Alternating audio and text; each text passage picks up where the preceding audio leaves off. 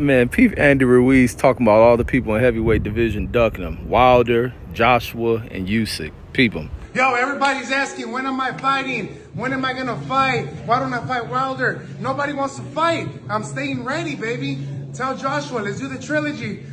Tell Wilder, I'm ready. Make me another contract.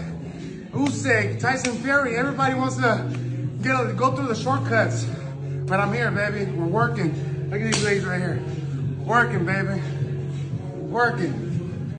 Now here this fool who done done all type of idiotic stuff throughout his career, not take things seriously, not be in shape for fights, turning down fights, uh, uh, just doing all type of things that are not, you know, conducted. I don't think it's anything that breeds successful fighter with the type of things that he is brought into his lifestyle once achieving success and success being what what has derailed this dude now he finds himself in a desperate situation wilder didn't try to make the fight with this dude this dude turned it down and now that nothing nothing else is coming out as far as him trying to make fights for this dude he's in desperation mode and making this video he makes on his uh, instagram to calling out other fighters. And i don't think nobody's intrigued with seeing andy ruiz and he doesn't motivate any of the fighters out there, even with him wanting to get a third fight with um, Anthony Joshua. And I think a lot of Mexican fans have really kind of